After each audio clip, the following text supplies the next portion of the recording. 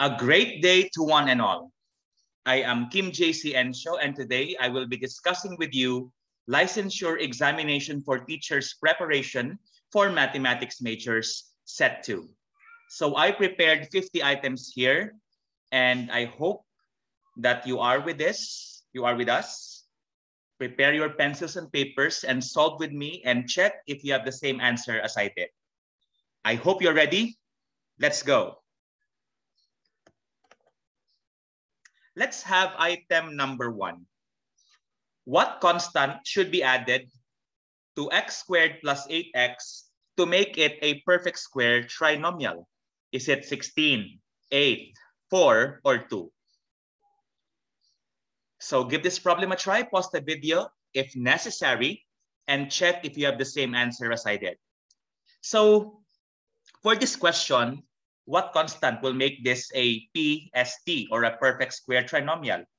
And to do that, um, since anyway, the numerical coefficient of x squared is 1, we can now simply divide. The technique is we have to divide the coefficient of this x by 2 so 8 divided by 2 is 4. And after dividing it by 2, then you square the result. Then you have 4 squared equals 16. Hence, the constant that should be added should be 16. And the correct answer, therefore, is letter A. I hope you got this correctly. Number two, simplify x squared minus 4 all over x squared minus 4x plus 4 times the ratio of x squared plus 2x minus 8 and 2x plus 8. So which of A, B, C, or D do you think is correct? And for this case, it is important that we entail that we use factoring, that we have to factor polynomials whenever possible or as much as possible and divide like terms in the numerator and denominator if possible. So for x squared plus 4, this is a difference of two squares which is factorable as x minus 2 times x plus 2. x squared minus 4x plus 4 is in fact a perfect square trinomial. It could be factored as x minus 2 times x minus 2 or x minus 2 quantity squared. The x squared plus 2x minus 8 could be factored as x plus 4 times x minus 2, whereas for the denominator here, 2x plus 8, you could take out the GCF as 2. So we have here 2. Then 2x divided by 2 will be x here, plus we have 8 divided by 2, which is 4. So now we are able to factor the expression completely. And now, remember, we could cancel factors or we could divide factors and they will be out of the system if one is in the numerator and the other is in the denominator. Okay, so we could divide this x minus 2 here. Also, I have here another x minus 2, and I have here another x minus 2 the x plus 4 and the x plus 4 here will also be divided into 1. And what is left is x plus 2 all over 1 times the quantity times 1 half. And simplifying such, the product of the numerator is x plus 2, and the product of the denominator is 2. Hence, the correct answer here is letter A. Okay.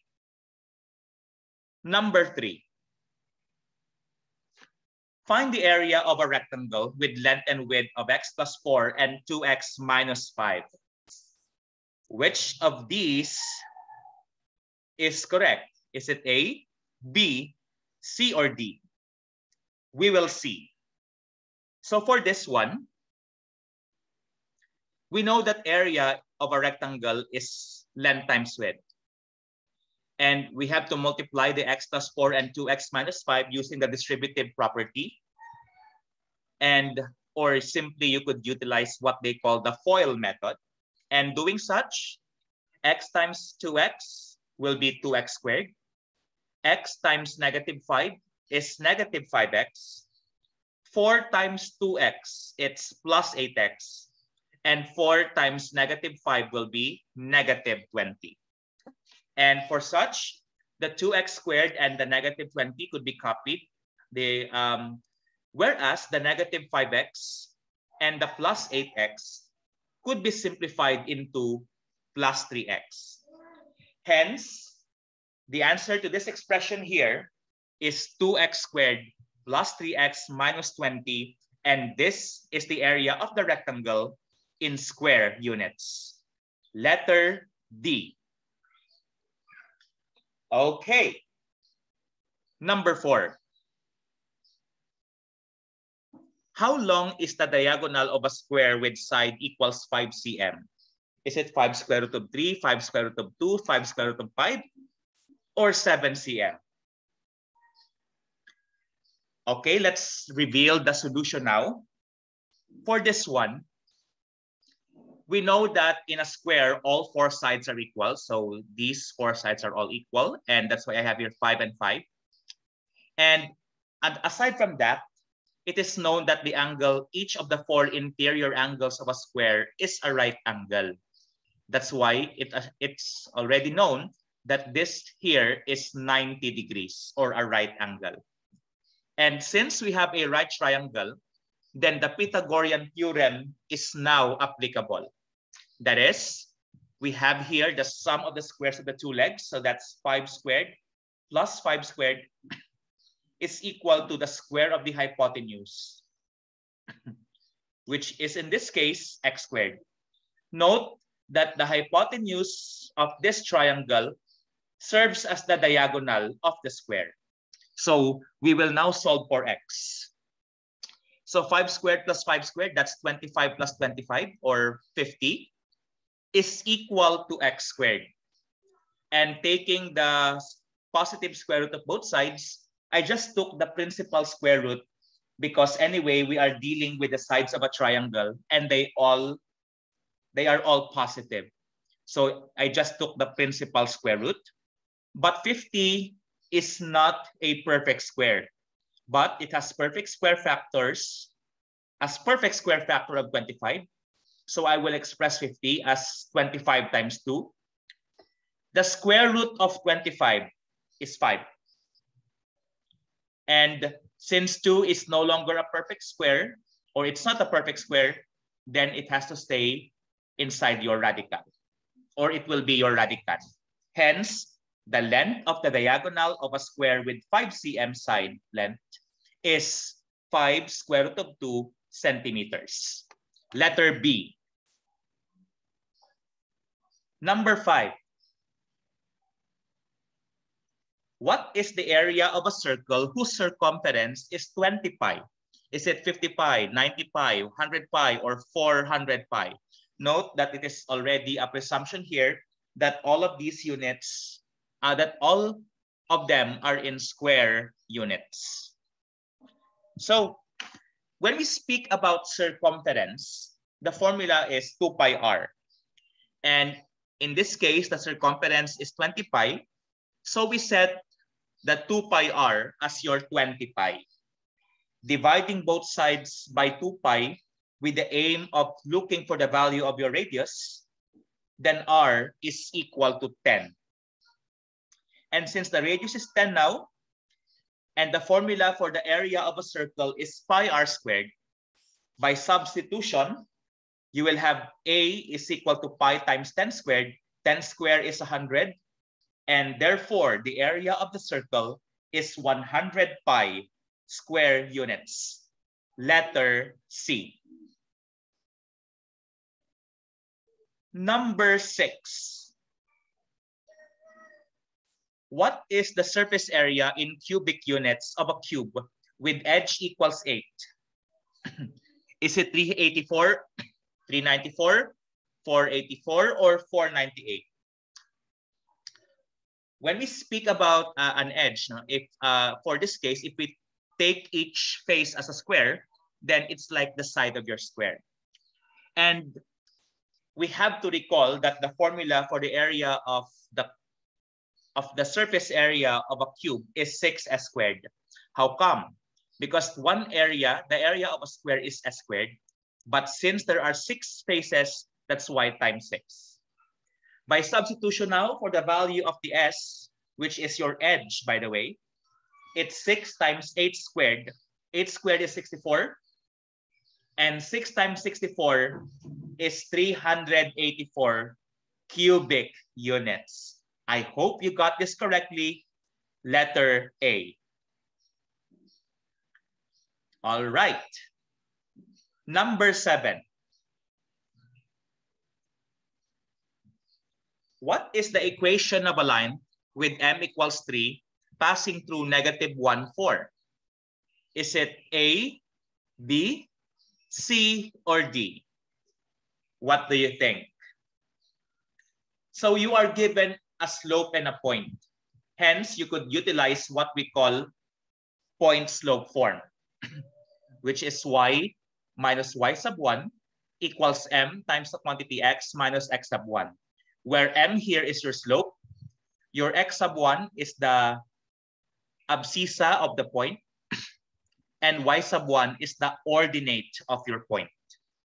So by substitution now, you have y minus 4 is equal to 3 times the quantity x plus 1.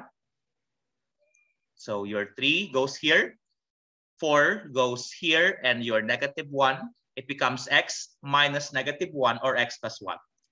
Using the distributive property, so 3 multiplied to x plus 1. So 3 times x will be 3x. 3 times 1 will be plus 3. Hence, you have y minus 4 equals 3x plus 3. And adding both sides by 4, we have the equation y equals 3x plus 7. Letter C. Number 8 find the complement of the supplement in degrees of 100 degrees. Is it 80, 40, 30, or 10? So when we speak about complement, the two angles add up to 90 degrees. And if they are supplementary, um, then they should add up to 180. For this case, we will be taking the complement of the supplement of 100 degrees. We have to start from supplement of 100 degrees.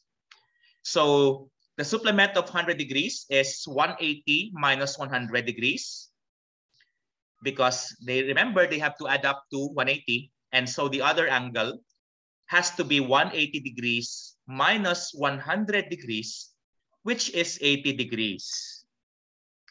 And we will now take the complement of 80 degrees. And for that complement, then they should add up to 90. So to get the other angle, so we have 90 degrees minus 80 degrees, which is 10 degrees. Letter D is the correct answer. Number nine, what is the measure of each interior angle in degrees of an octagon? Is it 72, 128.57, 135, or 140? I believe you are familiar with this concept that to determine the interior of angle of a regular polygon, you use the formula IA equals 180 degrees times the quantity n minus 2 all over n where IA represents the measure of an interior angle and n is the number of sides of that polygon. Since we have an octagon and an octagon has eight sides, so IA is equal to 180 degrees times 8 minus 2 all over 8. So we have 180 degrees times 6 all over 8. The numerator simplifies to 1080 degrees all over 8, and that gives us 135 degrees. Letter C. Number 10. The two consecutive angles in degrees of a parallelogram are 2x minus 3 and 3x plus 18. solve for x? Is it 33, 34, 35, or 36? From here, moms and sirs, we have to recall the fact that any two consecutive angles of a parallelogram are always supplementary. Hence, their sum has to be 180 degrees. That is why we have the equation 2x minus 3 plus 3x plus 18 equals 180. Combining like terms on the, on the left-hand side, we have 5x plus 15 equals 180. Subtracting both sides by 15, you have 5x equals 165. And dividing both sides by 5, we have x equals 33, letter A. I hope that you got 10 out of 10 so far.